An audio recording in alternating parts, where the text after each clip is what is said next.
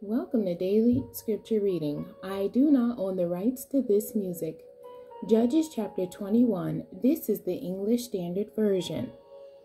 Wives provided for the tribe of Benjamin.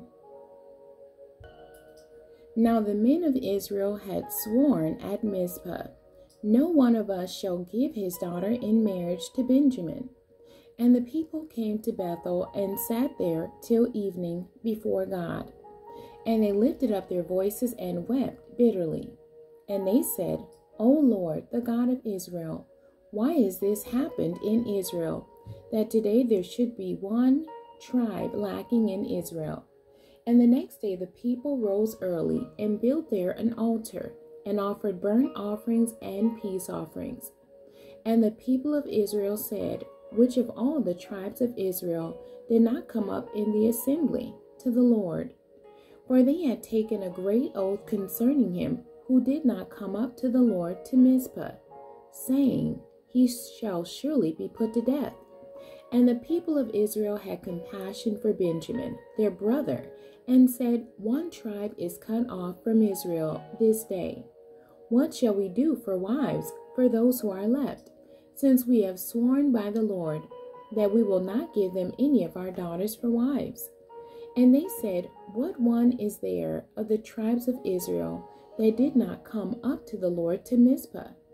And behold, no one had come to the camp from Jabesh Gilead to the assembly. For when the people were mustered, behold, not one of the inhabitants of Jabesh Gilead was there. So the congregation sent twelve thousand of their bravest men there, and commanded them, Go and strike the inhabitants of Jabesh Gilead with the edge of the sword, also the women and the little ones. This is what you shall do. Every male and every woman that is lain with the male you shall devote to destruction. And they found among the inhabitants of Jabesh Gilead four hundred young virgins who had not known a man by lying with him. And they brought them to the camp at Shiloh which is in the land of Canaan. Then the whole congregation sent word to the people of Benjamin who were at the rock of Rimmon and proclaimed peace to them. And Benjamin returned at that time, and they gave them the women whom they had saved alive of the women of Jabesh Gilead, but they were not enough for them. And the people had compassion on Benjamin, because the Lord had made a breach in the tribes of Israel then the elders of the congregation said, What shall we do for wives, for those who are left, since the women are destroyed out of Benjamin? And they said, There must be an inheritance for the survivors of Benjamin, that a tribe not be blotted out from Israel.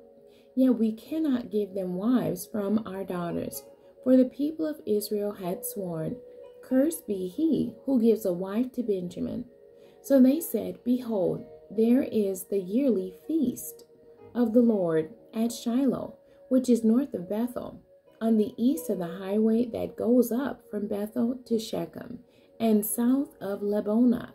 And they commanded the people of Benjamin, saying, Go and lie in ambush in the vineyards, and watch. If the daughters of Shiloh come out to dance in the dances, then come out of the vineyards and snatch each man his wife from the daughters of Shiloh, and go to the land of Benjamin. And when their fathers or their brothers come to complain to us, we will say to them, Grant them graciously to us, because we did not take for each man of them his wife in battle, neither did you give them to them, else you would now be guilty. And the people of Benjamin did so, and took their wives, according to their number, from the dancers whom they carried off. Then they went and returned to their inheritance, and rebuilt the towns and lived in them. And the people of Israel departed from there at that time, every man to his tribe and family, and they went out from there every man to his inheritance. In those days there was no king in Israel. Everyone did what was right in his own eyes. The end. God bless you and thank you for joining me today.